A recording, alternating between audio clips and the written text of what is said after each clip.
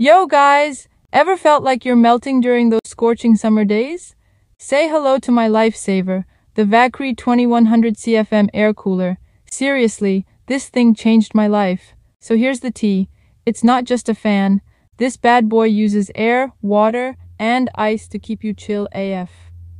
Picture this. I'm chilling in my living room, which is like 700 SQFT, and this beast covers every corner with a blast of fresh, cold air thanks to its 120 degree swing. No more hot spots. And get this, I barely touch it anymore because of the digital display and remote control. Lazy days just got a whole lot cooler. If you want to turn your place into an oasis, trust me, grab the VAGKRI now before everyone else does. Swipe up and thank me later.